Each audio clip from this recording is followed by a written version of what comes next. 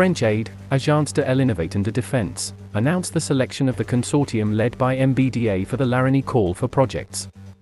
Larinae aims to develop, quickly and jointly, a teleoperated munition, MTO, munition teleopery, or loitering munition, capable of neutralizing a hardened target within a radius of 50 kilometers. It could operate in swarms.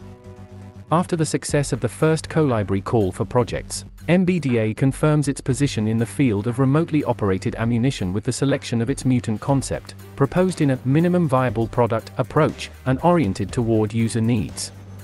It once again confirms the choice made by MBDA of an agile approach, making it possible to meet the needs of a rapid and innovative sovereign solution, for the benefit of the forces.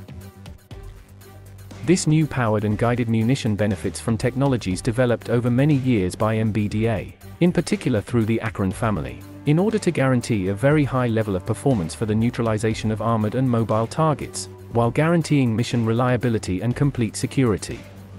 In order to produce ammunition that meets the best cost-performance compromise, Mutant also takes advantage of the latest technological advances in the field of civil and military drones. This solution, designed as a real weapon system with permanent man-in-the-loop maintenance, will offer complementary capabilities to land combat missiles in terms of speed on target, maneuverability, endurance, range and enemy saturation capability.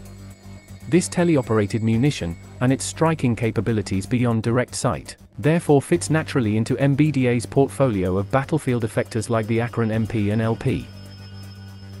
The consortium follows Ministerial Instruction 1618 which makes it possible to define, with the staffs of the forces and the DGA, the best compromise between need and solution, thus providing a rapid and effective response to the needs of the armies. The ambitious demonstrations planned under the Larinae contract in 2024 will benefit from work self-financed by MBDA since 2022, and having already enabled the first flights of the MTO Mutant with the SME Delair. These advances, which have already been made, thus make it possible to progress and adapt together even more quickly to the requirements of this new capacity. The Defense Innovation Agency, AID, was created on September 1, 2018, at the instigation of the Minister for the Armed Forces, Florence Parly. The agency's objective is to coordinate defense innovation and unite stakeholders. In 2019, it managed a budget of 750 million euros. In 2022, it managed an increasing budget that reached 1 billion euros.